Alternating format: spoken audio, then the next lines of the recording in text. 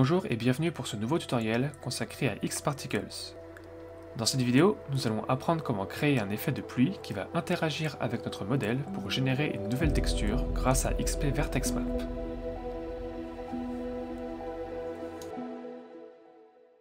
Alors dans Cinema 4D, j'ai utilisé la même statue que dans ma vidéo. Pour commencer, on va créer un XP System pour la pluie. Alors dans cet XP System, comme d'habitude, on a un XP émetteur qui fait la qu'on va mettre à la taille de notre statut. Voilà. On va le mettre un peu plus en haut comme ça. Et donc si on clique sur play, on a des particules qui avancent. Mais nous, ce qu'on veut, c'est avoir une vraie gravité. Donc on va mettre l'émission à 0. On va aller dans les modifiers, on va mettre un XP Gravity. Et on va aussi se mettre un XP Kill, voilà, qui va nous permettre de supprimer les particules quand elles vont quitter notre XP Kill. Ça nous fait gagner un peu de temps de rendu. Hop, voilà. Donc là, on a une vraie gravité. Maintenant, on va aller dans notre XP emitter, on va changer le display en line. Voilà. Euh, maintenant, on va créer donc euh, sur notre statut des collisions avec nos particules. Donc on va créer un XP Collider. Donc là de base, voilà, nos particules sont bien en collision avec notre statut. On va peut-être changer un peu le bounce, on va le mettre à 20, on va mettre 40 frictions. Et ensuite, on va aller dans spawning.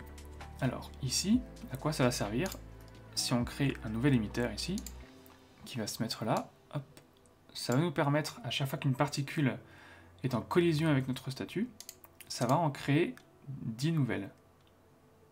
Hop, vous voyez Donc c'est comme ça qu'on va un peu séparer nos gouttes d'eau qui vont éclater sur notre, notre statut. Alors là, il y en a un peu trop, on peut, on peut changer, on peut mettre 5. On peut changer les positions, on va le mettre, euh, direction, pardon, on va le mettre sur face normal. On va mettre 50% de spread. Voilà, on va peut-être mettre plus, donc du coup ici, on a un nouvel émetteur, on peut aussi rechanger, euh, pardon, je sais pas, on va mettre 700. Voilà. C'est peut-être un peu trop. 500. Et on va aussi changer le display en line. Et on va peut-être changer de couleur aussi. Comme ça, on va bien voir la différence.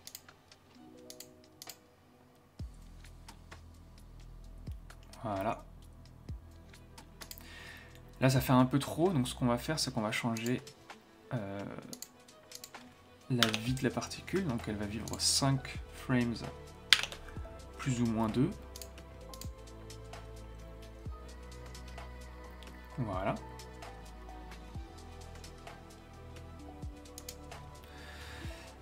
Donc là on est pas mal. On va pouvoir euh, maintenant passer à l'étape de la création de la vertex map pour interagir euh, nos gouttes d'eau avec notre statut. Donc pour ça, on va créer euh, un XP Vertex Map. Donc maintenant, on va glisser notre statut dans l'XP Vertex Map. Ça va nous créer une nouvelle icône ici, donc la Vertex Map. Et donc là, on a plusieurs euh, paramètres qu'on peut ajouter. Donc on va supprimer les polygones. Nous, ce qu'on veut, c'est Xparticule Vertice. Donc qu'est-ce que ça va faire, ça? Donc on va glisser notre X particule vertice, on va glisser notre émetteur de pluie. Voilà. Donc là, vous allez voir que à chaque fois qu'une goutte va toucher notre statut, ça va créer voilà, une, interaction. Donc c'est avec ça qu'on va pouvoir créer donc, les gouttes d'eau qui vont tomber sur notre statut. Là, les, points, euh, ils ne restent pas. Nous, ce qu'on veut, c'est que ça reste. Donc on a un truc pour ça qui s'appelle seedmap. Sitemap, on va mettre ici linked, on va glisser notre vertex map dedans et on va se mettre en reveal. Donc là maintenant, si on clique sur Play, voilà. Donc là, c'est, on va rajouter un petit peu de détails. Donc dans Vertice, on va se mettre à 10 cm. Et dans Seed, on va rajouter euh, un peu de smoothing. Voilà. Donc là,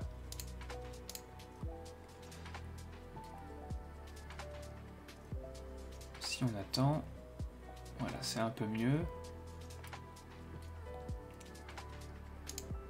On peut peut-être rajouter encore un peu.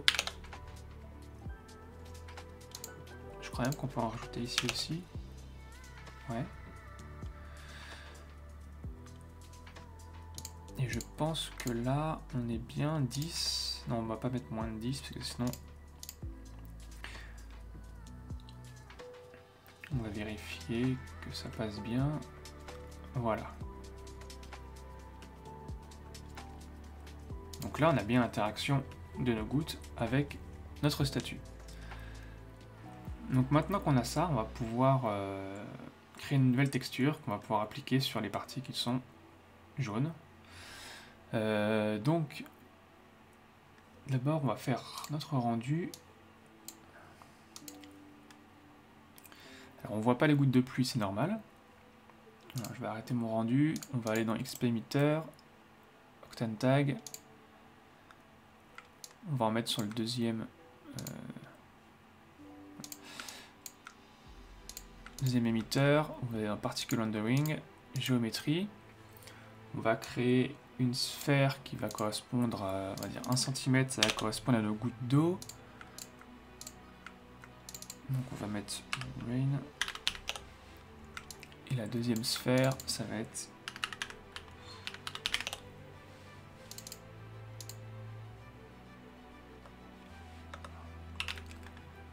spawning. Voilà. Donc, et spawning, on va le mettre à 0.4 par exemple. Donc, on va créer des gouttes d'eau de 1 cm et des spawning à 0.4. Donc là maintenant, si je clique sur Play, enfin sur le rendu, pardon,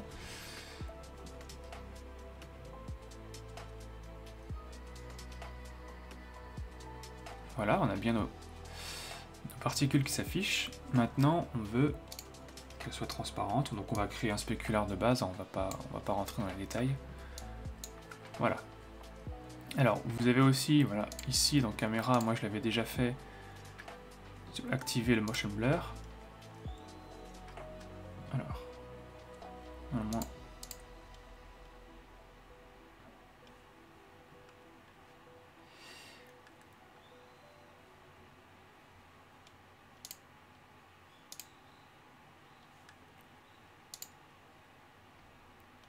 Voilà, il était un petit peu trop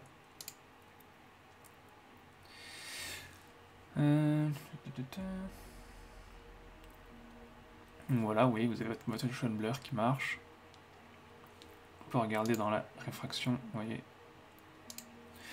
On peut peut-être forcer un peu pour que ça ait plus un aspect de pluie.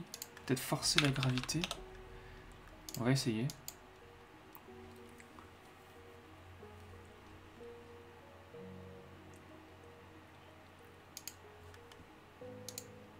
Là, pareil, on a bien notre spawning. Euh,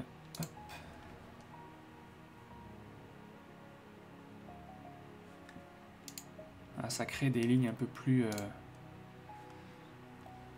un peu plus longues. C'est peut-être plus sympa.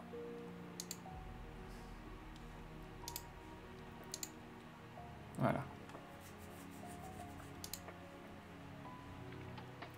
On les voit pas très bien ici, mais après c'est en post-prod hein, qu'il faut les... que vous pouvez les augmenter.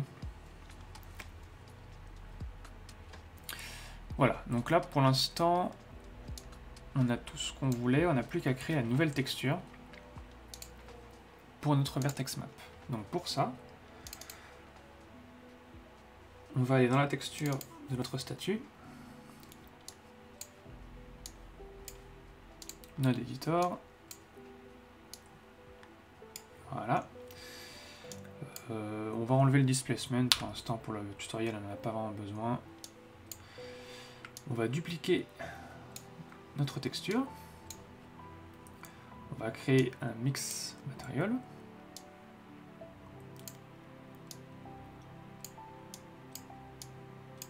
Et dans Amount, ici, on va mettre Vertex Map. Et on va pouvoir glisser donc l'icône de notre Vertex Map ici. Donc là, qu'est-ce que ça va faire? Ça va mettre que les zones qui sont rouges vont prendre une texture et les zones qui sont jaunes vont prendre une autre texture. Alors pour bien voir, on va, un peu exagérer euh, la texture du haut par exemple. Si je change voilà, certains paramètres... Ah oui alors, c'est normal que ça marche pas. On a créé une mix texture et il faut évidemment le mettre à la place de texture de tout à l'heure. Voilà. Donc là on voit bien que ça change. J'ai exagéré euh, exprès donc euh, le gamma. Et vous voyez que si vous voulez créer des zones un peu plus sombres et par exemple euh, un peu plus... donc là on a la roughness. Si je vais dans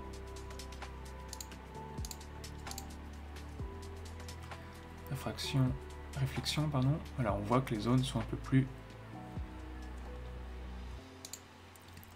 un peu plus humides. Donc c'est comme ça qu'on peut euh, créer donc, une nouvelle texture en fonction de notre vertex map. Donc voilà, maintenant que je vous ai expliqué tout ça, vous avez toutes les clés en main pour euh, recréer ce genre d'effet. N'hésitez pas à me dire en commentaire si vous avez aimé ce tutoriel, et je vous dis à très vite pour une nouvelle vidéo sur Xparticle.